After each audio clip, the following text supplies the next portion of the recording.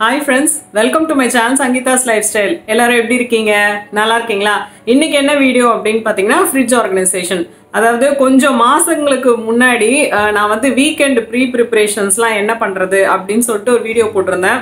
அதாவது அரிசி மாவு அதாவது தோசை இட்லி மாவு செய்யறது அதுக்கப்புறம் புளிக்காய்ச்சல் இஞ்சி பூண்டு பேஸ்ட்டு அப்புறம் பயிர் வகைகளை ஊற வைக்கிறது இந்த மாதிரி சில டிப்ஸ் அண்ட் ட்ரிக்ஸ்லாம் போட்டிருந்தேன். அந்த வீடியோ வந்து பெரிய ஹிட் நம்ம சேனலில் அப்போ வந்து நிறைய பேர் என்ன கேட்டிருந்தீங்கன்னா இவ்வளோ செய்கிறீங்களே இதெல்லாம் வந்து நீங்கள் ஃப்ரிட்ஜில் எப்படி அடுக்கி வைக்கிறீங்க? அப்படின்னு சொல்லிட்டு ஒரு வீடியோ போடுங்க. ஃப்ரிட்ஜ் ஆர்கனைசேஷன் வீடியோ போடுங்கன்னு சொல்லிட்டு நிறைய பேர் நிறைய தடவை கேட்டிருந்தீங்க. அது என்னமோ தெரியல நிறைய இன்ட்ரெஸ்டிங் டாபிக்ஸ் நடுவில் வந்துட்டே இருந்ததுனால அந்த வீடியோ வந்து போஸ்ட்போண்ட் ஆகிட்டே இருந்துச்சு. சரி ஓகே இது வந்து இப்போ லாக்டவுன் பீரியடுன்றதுனால எனக்கு வந்து பார்த்தீங்கன்னா கொஞ்சம் டைம் கிடச்சிது ஃப்ரீயாக எடுக்கிறதுக்கு. அதனால தான் இப்போ வந்து ஃப்ரிட்ஜ் ஆர்கனைசேஷன் வீடியோ வந்து நான் ஷூட் பண்ணியிருக்கேன் ஃப்ரெண்ட்ஸ் எங்களோட ஃப்ரிட்ஜ் வந்து வேர்ல்பூல் கம்பெனியோடது கெப்பாசிட்டி வந்து பார்த்தீங்கன்னா டூ சிக்ஸ்டி ஃபைவ் லிட்டர்ஸ் நல்ல பெரிய ஃப்ரிட்ஜ் ஃப்ரெண்ட்ஸ் ஃப்ரீசர் செக்ஷனும் நல்லா இருக்குது ஃப்ரிட்ஜ் செக்ஷனும் நல்லா இருக்குது இதை வந்து பர்ஃபெக்டாக ஆர்கனைஸ் பண்ணி நம்ம யூட்டிலைஸ் பண்ணோம் அப்படின்னா ரொம்ப நல்ல ஃப்ரிட்ஜு அது வந்து நான் எப்படி ஆர்கனைஸ் பண்ணியிருக்கேன் அப்படின்றத உங்களோட காமிக்கிறேன். ஸோ எந்த ஆர்கனைசேஷன் ப்ராஜெக்ட் நம்ம செய்கிறதா இருந்தாலும் ஃபர்ஸ்ட் வந்து பார்த்திங்கன்னா க்ளீன் பண்ணிடணும். ஃப்ரிட்ஜை வந்து எப்படி க்ளீன் பண்ணுறது அதுவும் ஒரு டிஐஒய் சொல்யூஷன் வச்சு சிம்பிளாக ஆனால் எஃபெக்டிவாக எப்படி க்ளீன் பண்ணுறது அப்படின்னு சொல்லிட்டு நான் ஒரு செப்பரேட் வீடியோ போட்டிருக்கேன். அதோட லிங்க் வந்து நான் உங்களுக்கு கீழே கொடுக்குறேன். அந்த டிஐஒய் சொல்யூஷன் வச்சு எதெல்லாம் க்ளீன் பண்ணலான்னு ஒரு வீடியோ இருக்குது ரெண்டுமே நான் கீழே கொடுக்குறேன். செக் பண்ணி பாருங்கள் ஸோ இப்போ இந்த ஃப்ரிட்ஜ் ஆர்கனைசேஷனில் சில விஷயம் வந்து நான் கிளியராக உங்ககிட்ட சொல்லணும்னு ஆசைப்படுறேன். என்ன அப்படின்னு பார்த்தீங்கன்னா ஃப்ரிட்ஜ் ஆர்கனைசேஷன்ன்றது வந்து ஒவ்வொருத்தவங்க அதாவது ஒரு ஒரு ஃபேமிலியை பொறுத்து நம்ம என்னென்ன பொருள் வாங்குறோம் எப்படி சமைக்கிறோம் அவங்கவுங்க லைஃப் ஸ்டைலை பொறுத்து இருக்குது சரியா? ஸோ இப்போ நான் வந்து என் ஃப்ரிட்ஜை என்னோட லைஃப் ஸ்டைலுக்கு ஏற்ற மாதிரி நான் ஆர்கனைஸ் பண்ணியிருக்கேன் நான் வந்து இந்த ஸ்டோர் பண்ணி யூஸ் பண்ணுறது அப்படிங்கிறதுல வந்து ரொம்ப வீக் அதாவது நிறைய பொருள் வாங்கிட்டு வந்து வச்சிருவேன். வச்சுட்டு என்ன செய்வேன்னா மறந்து போயிடுவேன். அது யூஸ் பண்ணாமல் அது அப்புறம் அந்த பொருள் அப்படியே வேஸ்ட்டாக போயிடுது. எஸ்பெஷலி பேக்கெட் ஐட்டம்ஸ்லாம் பார்த்தீங்கன்னா கொஞ்சம் விலை ஜாஸ்தியாக இருக்கும். ஐஸ்கிரீமு அதுக்கப்புறம் சாக்லேட் இந்த ஃப்ரெஷ் க்ரீமு மலாய் இந்த மாதிரி விஷயம்லாம் வந்து பார்த்தீங்கன்னா நான் வாங்கிட்டு வந்தேன்னா அதை கொஞ்ச நாளில் யூஸ் பண்ணணும். சமைக்கலைன்னா அது ஃபுல்லாக வேஸ்ட் ஆகிடும் ஸோ அதை அவாய்ட் பண்ணுறதுக்காக நான் ஜென்ரலி அதெல்லாம் வாங்கிட்டு வந்து நான் ஸ்டாக் பண்ணுறதே இல்லை. வாங்கினாலும் சின்ன போர்ஷனாக வாங்கிட்டு வந்து அந்த டைமுக்கு யூஸ் பண்ணிட்டு அதை வந்து நான் தூக்கி போட்டுருவேன். அப்படி தான் நான் இது வரைக்கும் செஞ்சுருக்கேன். ஸோ அதெல்லாம் வந்து என் ஃப்ரிட்ஜில் இருக்காது. சப்போஸ் சப்போஸ் உங்களுக்கு வந்து நான் காமிச்சிருக்க ஆர்கனைசேஷனில் ஏதாவது ஒரு தப்பாக இருக்குது இது நீங்கள் சேஞ்ச் பண்ணும் அப்படின்னு நினைக்கிறது சொல்லணும் அப்படின்னு தோணுச்சுன்னா எனக்கு கமெண்ட்ல சொல்லுங்கள் ஆனால் கூடவே வந்து அதோட லாஜிக்கல் ரீசனிங் அதாவது ஏன் நீங்கள் அதை சொல்கிறீங்க அதுக்கு மாற்று ஏதாவது இருக்கா அப்படிங்கிறதையும் சேர்த்து சொன்னீங்கன்னா ரொம்ப ரொம்ப யூஸ்ஃபுல்லாக இருக்கும். ஃப்ரெண்ட்ஸ் ஃபர்ஸ்ட் வந்து நம்ம ஃப்ரீசர் செக்ஷன்லேருந்து ஆரம்பிப்போம். ஃப்ரீசர் செக்ஷன் பார்த்தீங்கன்னா எம்டியாக தான் இருக்கும். மேலே வந்து ஐஸ் க்யூப்ஸ் ட்ரே இருக்குது அதில் தண்ணி ஊற்றி வச்சுருக்கேன். அப்புறம் வந்து பார்த்தீங்கன்னா மாவு வகைகள்லாம் நான் இதில் வச்சுருக்கேன். அதாவது கொஞ்சம் பல்காக அரைச்சிட்டேன்னா யூஸ் பண்ண வேண்டியது வந்து கிச்சன் ஷெல்ஃபில் இருக்கும். மிச்ச மாவு வந்து ஃப்ரீசரில் வைப்பேன். ஏன்னா வண்டு பிடிக்குது அப்படிங்கிறதுனால. ஸோ குவான்டிட்டியும் பார்த்தீங்கன்னா நான் கம்மியாக தான் அரைப்பேன். அரை கிலோ ஒரு கிலோ அந்த மாதிரி மட்டும்தான் அரைச்சி வச்சுப்பேன். கடலை மாவு அரிசி மாவு உளுந்து மாவு மூணுமே அங்கே இருக்குது இப்போது ஃப்ரீசரோட டோர் செக்ஷன் வந்து எம்டியாக தான் இருக்குது எனக்கு இதில் ஸ்டோர் பண்ணுறதுக்கு ஒன்றுமே இல்லை. ஸோ காலியாக தான் வச்சுருக்கேன். இப்போ நம்ம ஃப்ரிட்ஜ் செக்ஷன்லேருந்து பார்க்கலாம். ஃபஸ்ட்டு செக்ஷன் வந்து பார்த்திங்கன்னா பெரிஷபிள் செக்ஷன் இங்கே தான் வந்து உங்களுக்கு காத்தோட்டம் நிறைய இருக்கும். கூலிங்கும் நல்லா இருக்குன்றதுனால இங்கே வந்து முட்டை பன்னீர் மஷ்ரூம் எதெல்லாம் வந்து சீக்கிரம் கெட்டு போகுமோ அந்த மாதிரி ஐட்டம்ஸ்லாம் வந்து நான் ஃபர்ஸ்ட்டு இந்த ஷெல்ஃபில் வச்சுருக்கேன். முட்டை வந்து இன்னமும் வெளியே வைக்கலாமா உள்ளே வைக்கலாமான்ற ஆர்கியூமெண்ட் போயிட்டுருக்கு. எனக்கு வந்து வெளியே வச்சா சீக்கிரம் கெட்டுடுது. அதனால் நான் உள்ளே வச்சுருக்கேன். மஷ்ரூம் அதுக்கப்புறம் சீஸு பன்னீர் பட்டர் இதெல்லாம் மட்டும் நான் இந்த ஏரியாவில் வச்சுருக்கேன். அடுத்த செக்ஷன் வந்து பார்த்திங்கன்னா நம்மளோட மாவு செக்ஷன் சவுத் இந்தியாவில் எப்படி மாவு இல்லாமல் இருக்கும்? ஸோ ஃபுல்லாக இட்லி மாவு அதுக்கப்புறம் ஒன்றுத்தில் வந்து பார்த்திங்கன்னா அடை மாவு இந்த மாதிரி நான் வந்து இந்த செக்ஷன் ஃபுல்லாக மாவு வச்சுருக்கேன். இது வந்து எனக்கு ஒன் வீக்குக்கு கரெக்டாக இருக்கும். அது மாதிரி தான் நான் மீல் பிளானிங் பண்ணியிருக்கேன் ஸோ மாவு எல்லாம் இந்த செக்ஷனில் இருக்கும். ஸோ நெக்ஸ்ட் செக்ஷன் என்ன அப்படின்னு பார்த்தீங்கன்னா டெய்லி யூஸ் செக்ஷன் இந்த செக்ஷன் வந்து கொஞ்சம் நான் காலியாக தான் வச்சுருப்பேன். டெய்லி அன்றாடம் பால் வைக்கிறது அதுக்கப்புறம் நைட்டு வந்து சப்போஸ் ஏதாவது குருமா அந்த மாதிரி மீந்து போச்சுன்னா எடுத்து வைக்கிறதுக்கு அதுக்கு மட்டும்தான் இந்த ஏரியா வச்சுருக்கேன். அப்புறம் கீரை வாங்கினாக்கா ஆஞ்சி வச்சு மறுநாள் யூஸ் பண்ணுறதுக்கு இப்போ வந்து பார்த்திங்கன்னா சுண்டல் வெரைட்டி வந்து நான் இதில் வச்சுருக்கேன். சுண்டல் வெரைட்டி வந்து இப்போது கொரோனா சமயம்ன்றதுனால நாங்கள் முக்கால்வாசிக்கு டெய்லியே எடுத்துக்கிறோம். அதனால் அப்பப்போ வந்து ஊற வச்சு முளை கட்டி நான் இதில் ஸ்டோர் பண்ணிக்கிறேன். இது வந்து கொஞ்சம் கொஞ்சம் எக்ஸ்ட்ரா ஸ்பேஸ் நான் வச்சுருக்கேன். ஏன்னா மேலே மேலே அடுக்கிறதுக்கு வசதியாக இருக்கும். நான் அதுக்கேற்ற மாதிரி கண்டெய்னர்ஸும் வச்சுருக்கேன்றதுனால எனக்கு வந்து இந்த மாதிரி வசதியாக வச்சுருக்கேன். இந்த பால் குக்கர் வந்து பின்னாடி தள்ளிட்டிங்கன்னா இன்னும் கொஞ்சம் இடம் இருக்கும். அதில் வந்து பார்த்திங்கன்னா நைட்டு மறுநாளுக்கு தேவையான ஐட்டம்ஸ் எல்லாம் வந்து நான் அங்கே வச்சுக்கிறதுக்கு எனக்கு யூஸ்ஃபுல்லாக இருக்கும். நெக்ஸ்ட்டு செக்ஷன் வந்து பார்த்திங்கன்னா க்ரீன் செக்ஷன் அதாவது நம்ம புதினா கொத்தமல்லி பச்சை மிளகா அதுக்கப்புறம் கருவேப்பிலை தேங்காய் இது எல்லாமே இதில் தான் வைப்பேன். இப்போ தேங்காய் வைக்கிறதுக்கு ஒரு சின்ன ட்ரே வச்சுருக்கேன். இது வந்து எதுக்குன்னு பார்த்தீங்கன்னா தேங்காவோட துகள்லாம் கீழே விழும் இல்லையா? அது அந்த மேட்டை ஸ்பாயில் பண்ணாமல் இருக்கணுன்றதுக்காக சின்னதாக ஒரு ட்ரே வச்சுருக்கேன். இதெல்லாம் இந்த ட்ரே கண்டெய்னர் எல்லாமே வந்து எனக்கு அமேசான் லிங்க் கிடச்சா நான் உங்களுக்கு கீழே கொடுக்குறேன். உங்களுக்கு யூஸ்ஃபுல்லாக இருக்கும்னு நினைக்கிறேன். ஸோ புதினா கொத்தமல்லி பச்சை மிளகாய் இதெல்லாம் வந்து நான் எப்படி ஸ்டோர் பண்ணியிருக்கேன் அப்படின்னு பார்த்தீங்கன்னா இந்த கிளாஸ் கண்டெய்னர்ஸில் வேஷ்டி துணி இல்லை மல்லு துணி ஏதாவது வந்து கரெக்டாக அளவுக்கு கட் பண்ணி நம்ம போட்டு வச்சுட்டு இதெல்லாம் ஸ்டோர் பண்ணோம் அப்படின்னா இதுலேருந்து வர தண்ணி வந்து அந்த வேஷ்டி துணி உறிஞ்சிட்டு நமக்கு வந்து இதெல்லாம் ஃப்ரெஷ்ஷாக இருக்கும்.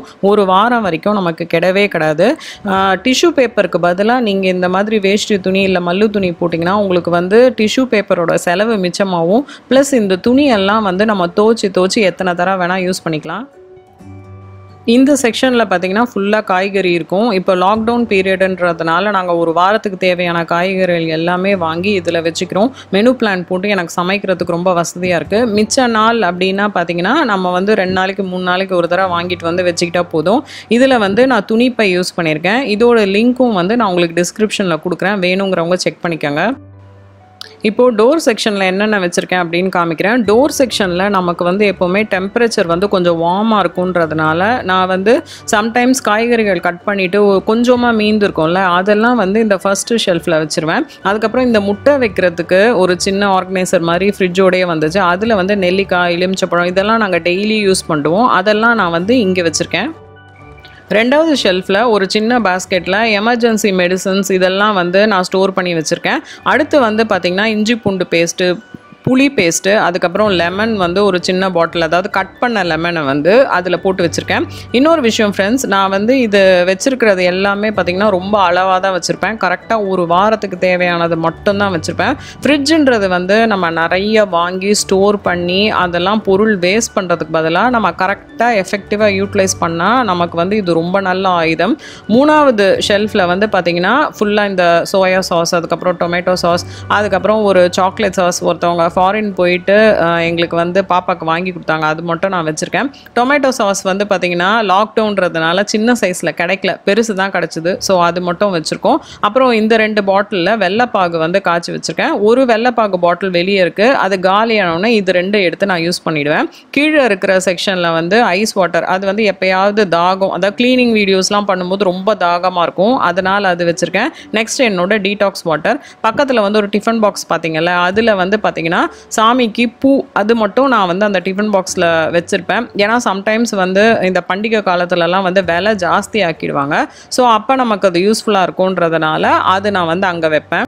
ஸோ ஃப்ரெண்ட்ஸ் ஃப்ரிட்ஜ் ஆர்கனைசேஷன் வந்து இப்போ நீங்கள் பார்த்துட்டீங்க ஃப்ரிட்ஜ் வந்து எப்பவுமே எப்படி நீட்டாகவும் ரொம்ப கச்ச கச்ச கச்சன்னு குப்பை சேராமலும் மெயின்டைன் பண்ணுறது அப்படின்ட்டு சில டிப்ஸ்லாமும் உங்களுக்கு நான் அடுத்து சொல்கிறேன் பாருங்கள் ஃபர்ஸ்ட் டிப் என்ன அப்படின்னு பார்த்தீங்கன்னா நம்ம எப்போவுமே ஃப்ரிட்ஜை வந்து செக்ஷன் செக்ஷனாக பிரித்து வச்சுக்கிறது ரொம்ப ரொம்ப நல்லது. இது வந்து எதுக்கு யூஸ்ஃபுல்லாக இருக்கும் அப்படின்னு பார்த்தீங்கன்னா தேவையில்லாத ஐட்டம்ஸ்லாம் ஃப்ரிட்ஜை ரொப்பாமல் நம்ம கரெக்டாக வச்சுக்கிறதுக்கு ரொம்ப ரொம்ப யூஸ்ஃபுல்லாக இருக்கும்.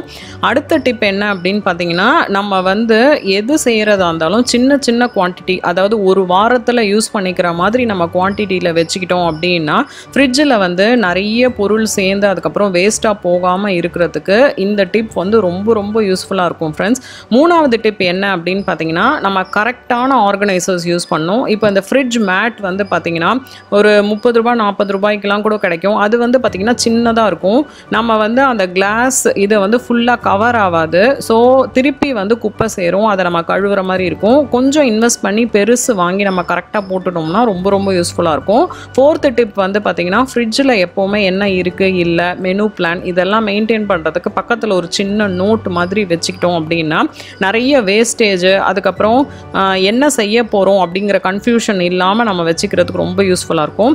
நைட்டு வந்து பால் பார்த்திங்கன்னா நம்ம அந்த பால் பாத்திரத்தோடு ஃப்ரிட்ஜில் வச்சோம்னா நிறைய இடம் உடைக்கும் அதுக்கு பதிலாக நம்ம இந்த மாதிரி சின்ன டவரால் அந்த மாதிரி செட்டில் ஊற்றி நம்ம மறுநாள் சூட் பண்ணிக்கிறதுக்கு வச்சுக்கிட்டோம்னா ரொம்ப ரொம்ப இடம் வந்து நமக்கு சேவ் ஆகும்.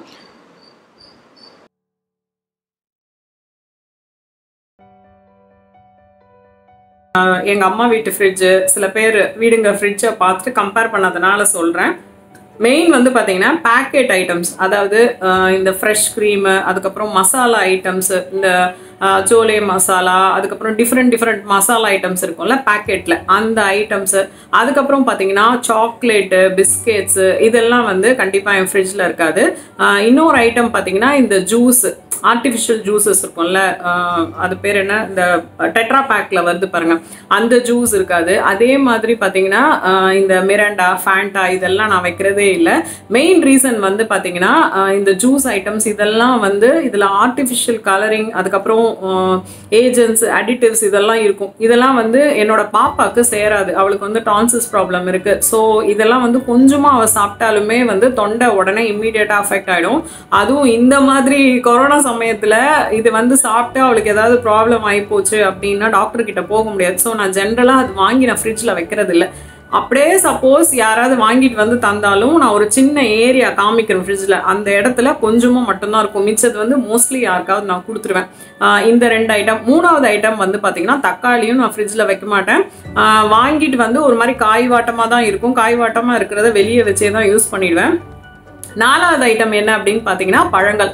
பழங்கள் வந்து நான் என்னைக்குமே ஃப்ரிட்ஜில் வச்சதே இல்லை. வாங்கிட்டு வந்தால் மறுநாள் இல்லை அடுத்த நாளே வந்து நாங்கள் காலி பண்ணிடுவோம். ஸோ பழங்கள் வாங்கி ஸ்டாக் பண்ணுறதுன்றது எங்களுக்கு பழக்கம் இல்லை. பணம். ஸோ இதெல்லாம் தான் வந்து நான் ஃப்ரிட்ஜில் வைக்காதது. ஸோ என்ன ஃப்ரெண்ட்ஸ் இந்த வீடியோ பிடிச்சிருந்ததா? இந்த ஆர்கனைசேஷன் ஸ்டைல் உங்களுக்கு பிடிச்சிருக்கா? பிடிச்சிருந்ததா கண்டிப்பாக நம்ம சேனலுக்கு சப்ஸ்கிரைப் பண்ணுங்கள் கீழே இருக்கிற ரெட் சப்ஸ்கிரைப் பட்டனை கிளிக் பண்ணிட்டு கூடவே அந்த பெல் பட்டன் இருக்கும் அதையும் ப்ரெஸ் பண்ணுங்க. அப்பதான் நான் போடுற எல்லா வீடியோஸும் உங்களோட ஃபோனில் சப்ஸ்கிரிப்ஷன் ஒரு டேப் இருக்கும் அதில் இருக்கும். உங்களுக்கு எப்போ டைம் இருக்கோ அப்போ நீங்கள் பார்த்துக்கலாம் அதுக்கப்புறம் இந்த ஸ்டைல் ஆஃப் ஆர்கனைசிங் அதுக்கப்புறம் நம்ம சேனலில் மிச்ச கண்டென்ட்டும் நீங்கள் பாருங்கள் பிடிச்சிருந்தா உங்கள் ஃப்ரெண்ட்ஸ்க்கு எல்லாமும் ஷேர் பண்ணி விடுங்க. அது வந்து நம்ம சேனல் வளர்கிறதுக்கு ரொம்ப ரொம்ப யூஸ்ஃபுல்லாக இருக்கும். அப்போ தான் வந்து என்னோட குவாலிட்டி கண்டென்ட் வந்து உங்களை வந்து சேரும். எனக்கும் வந்து அது ரொம்ப மோட்டிவேட்டிங்காக இருக்கும். மறுபடியும் ஒரு அழகான வீடியோவில் உங்கள் எல்லாரையும் மீட் பண்ணுற friends take care bye bye